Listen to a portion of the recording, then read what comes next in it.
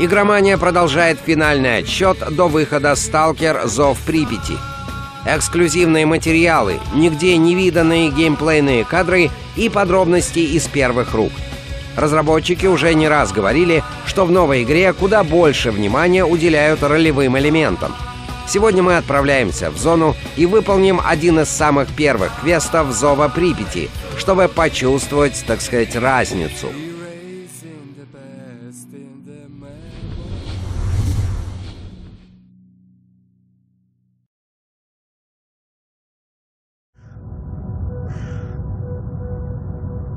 Мы на Затоне, первой совершенно новой локации Зова Припяти. Главный герой, агент СБУ, по заданию правительства отправляется в зону для нахождения разбившихся вертолетов военной экспедиции. Места крушения вертолетов известны сразу, однако путь к каждому непрост и требует сторонней помощи. Нам нужно сперва освоиться в зоне и найти проводника, который проведет нас сквозь опасные места. Для этого предстоит выполнить несколько сторонних квестов. Их можно получить, как и раньше, в убежищах сталкеров. Ближайшая — затопленная баржа. Здесь масса самых разных персонажей, с которыми можно поговорить и получить квест. Сразу предупредим, что озвучка многих диалогов пока не готова — или временно записано самими разработчиками. Мы узнаем, что неподалеку есть ценный артефакт, и беремся его принести за вознаграждение. Как-то раз сидим мы с мужиками в засаде. Путь к нему довольно безопасен. Вообще на Затоне почти сразу встречаются снорки и сталкеры в экзоскелетах. Однако путешествие вокруг лагеря сталкеров вполне безопасно.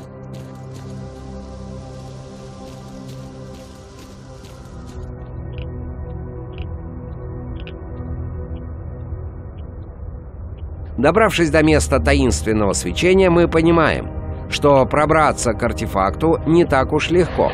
В идут болты и детектор аномалий.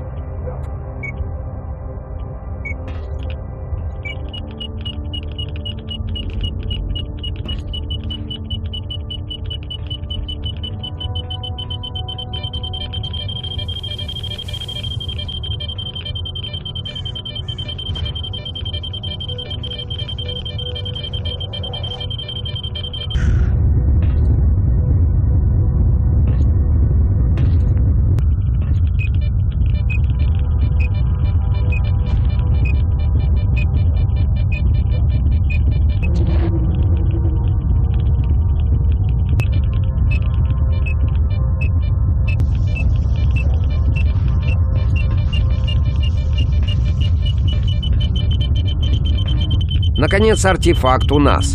Но на этом квест не заканчивается.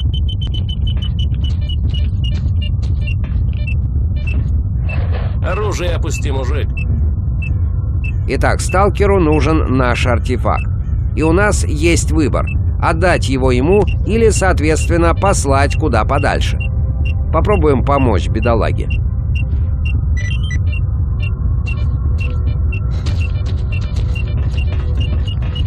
Сталкер убегает, а мы возвращаемся в лагерь.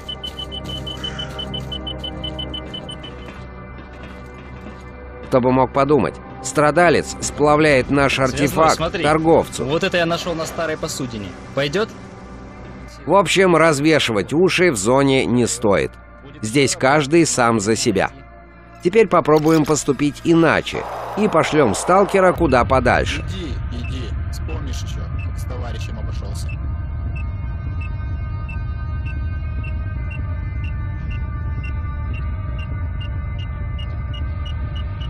В этом случае нас поджидает засада. Стоять на месте! Ствол убрал! Не дергаться! Вот так и стой! И не шевелись, козел! Понял меня? А то быстро в закон пойдешь. И у нас опять есть выбор – сражаться или отдать артефакт.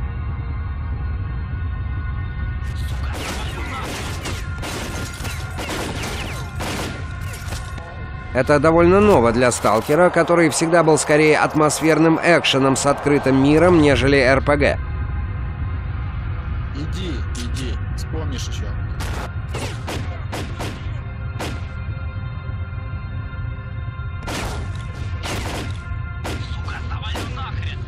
Зов Припяти, судя по тем моментам, которые мы видели, действительно двигается в правильном направлении. Очень многие квесты на Затоне — это маленькие приключения в мире сталкера, со своими персонажами, подчас весьма интересными. На уровнях много любопытных мест, которые можно и не заметить, не взяв дополнительный квест. Следи за любой тенью. Они могут появиться откуда угодно.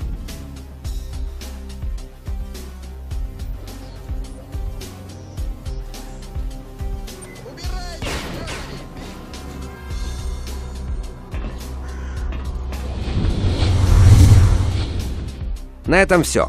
Финальный отсчет продолжается. В следующих выпусках вас ждет премьера первых кадров из Новой Припяти, рассказ о новых монстрах и локациях.